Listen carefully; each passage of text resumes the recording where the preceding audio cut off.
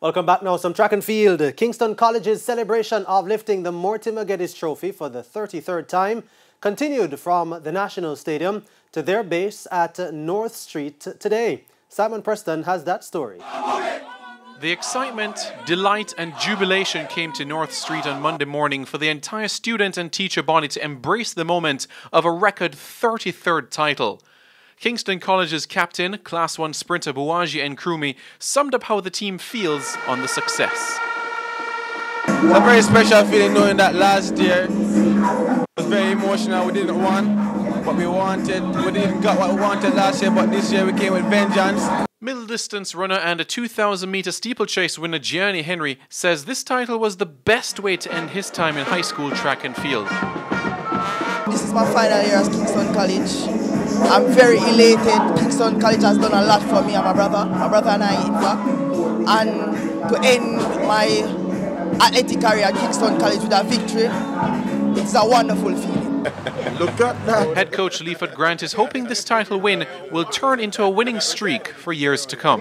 We will take it year by year. We will assess the team year by year, and then we will make our calculation based on our gap analysis. And, and hopefully, God willing again, we will carry it home next year.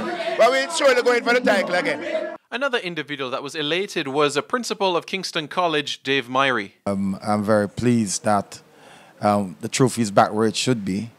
Um, we lost it last year, and I'd say we gave it away last year. Um, and this year went back to the formula that we've always used, uh, and that formula worked.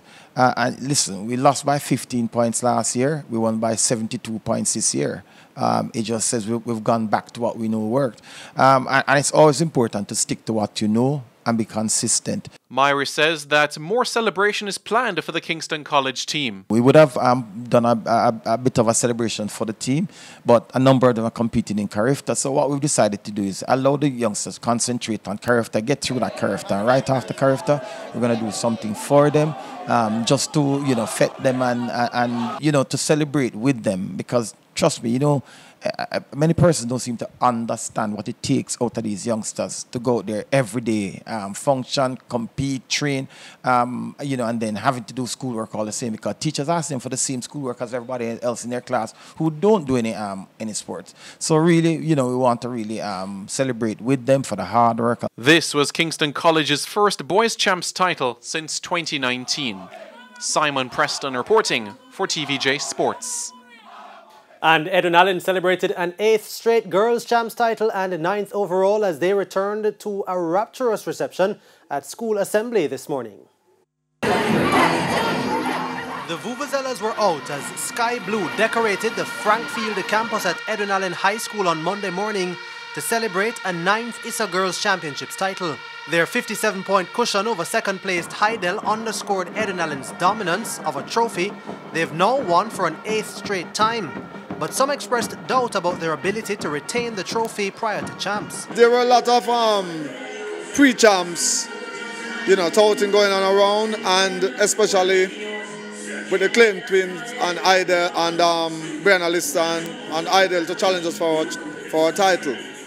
But in the end, um, we have been doing this for so long. We, we, we, are, we have almost perfect the art now, so we did what was expected not only to win the championship, but also to win that 100, which was probably one of the the biggest race at the at the um, at champs this year. And coach Michael Dyke doesn't think his team will be weakening anytime soon. Well, our current team captain has another year, and we have we still have the twins, and so, so we have a, a very strong team remaining for next year. So, you know, probably teams that are considering overhauling us next year may have another guest coming. Captain Leanna Lewis didn't have any doubts about the team retaining their title either. She says the COVID-19 restrictions meant more sacrifices had to be made in the lead up to championships. I think one of them was that, you know, when you could be home with your family, you have to be here training and working hard. But at the end of the day, it will help us. So I don't think that's anything that is a major setback.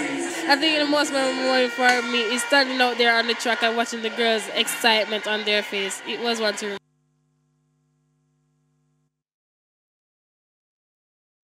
Time it was Edwin Allen's Christopher Young who was named champion boy after tallying 24 points at the championships. Young won two gold medals and a bronze, taking the top prize in the javelin and shot put and finishing third in the discus for Class 1 boys. Yes, I did, miss. I did. Yeah, because all season I've been doing exceptionally well in all three of my events. So I knew I was going to be on top in the end. Class 1 uh, sprint double champion Bryan Levell finished third in the run for champion boy with his 18 points. Well, my confidence level miss is now boosted miss because of my achievement that I achieved at the champ miss and that impacted me in a positive way miss because that's given me a drive to go on and do better miss.